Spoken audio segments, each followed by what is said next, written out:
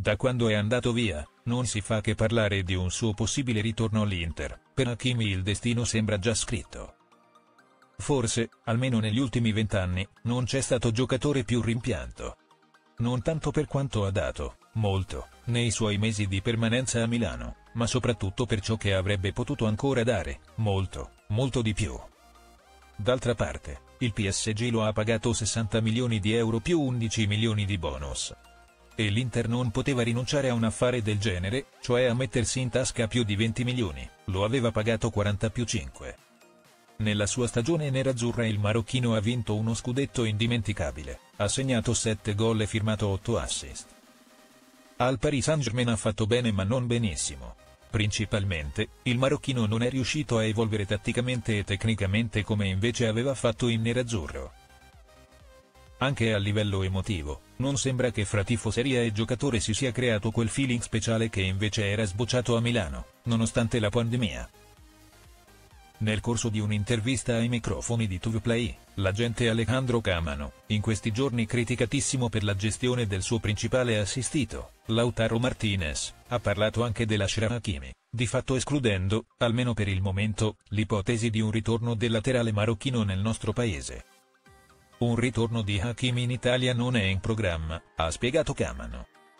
È stato molto bene all'Inter, ma oggi sta benissimo al PSG e ha un contratto fino al 2026. Uno come Hakimi sarebbe il non plus ultra per sostituire sulla fascia destra Dumfries. E in tanti tifosi hanno in questi anni fantasticato sul quanto bene il marocchino si sarebbe potuto trovare a suo agio con Inzaghi in panchina.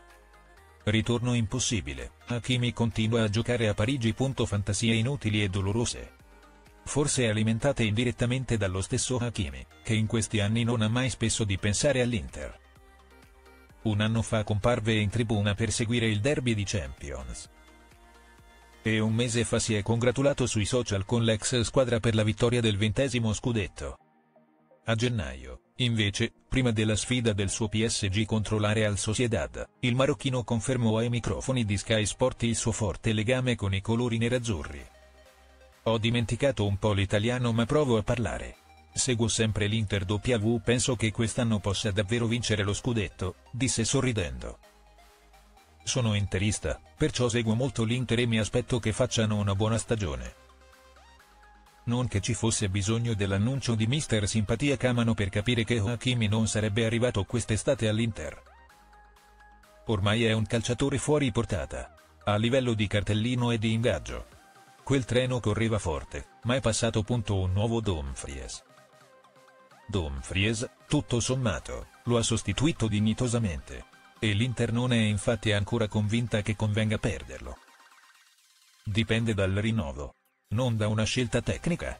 Camano, a ogni modo, non ha spento alcuna voce su un possibile ritorno di Hakimi, dato che quelle voci erano inconsistenti. Se Dumfries dovesse essere ceduto, sembra che Simone Inzaghi voglia poter accogliere un laterale di quel tipo, forte fisicamente, resistente e veloce. Per ora Buchanan non ha superato l'esame e non viene considerato un'alternativa valida. Il suo ruolo è da riserva, da schierare più a sinistra che sul lato opposto. Nelle ultime ore sta prendendo corpo la possibilità di arrivare a Giovanni Di Lorenzo, che a quanto pare avrebbe deciso di lasciare il Napoli al termine della stagione. L'operazione per l'esterno destro classe 1993, tuttavia, non si preannuncia tanto facile. Aurelio De Laurentiis ha ancora il dente avvelenato e Inzaghi potrebbe giudicare l'obiettivo come poco utile.